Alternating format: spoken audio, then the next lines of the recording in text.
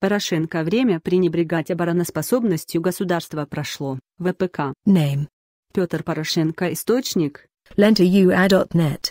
Президент Украины Петр Порошенко заявляет, что время пренебрегать обороноспособностью государства ушло в прошлое, украинские воины будут иметь высокий уровень обеспечения. Как сообщили УНИАН в пресс-службе главы государства, об этом он заявил во время выступления в учебном центре Национальной гвардии Украины в Новых Петровцах Киевской области. Время пренебрегать обороноспособностью государства ушло в прошлое. Защитник страны будет обеспечен всем необходимым для победы, сказал Порошенко. После передачи военным сертификатов на новую и модернизированную технику для нужд штата Порошенко вместе с собравшимися осмотрел представленную военную технику украинского и иностранного производства, бронированные автомобили, специализированные машины скорой помощи для военных, средства противобатарейной борьбы, радиоразведки, беспилотные летательные аппараты, машины управления.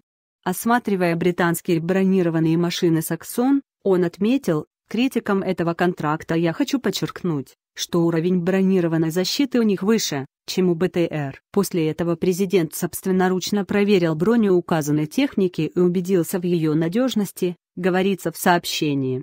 Также главе государства были представлены радиостанции и новые средства связи для блокпостов и оперативной связи.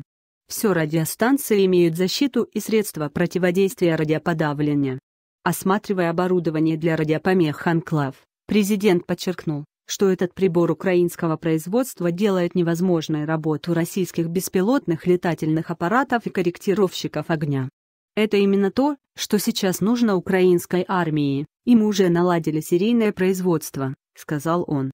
Порошенко подчеркнул, что вся техника должна быть направлена в зону АТО как можно скорее. 13 февраля 2015 года права на данный материал принадлежат УНЯН. Материал был размещен правообладателем в открытом доступе.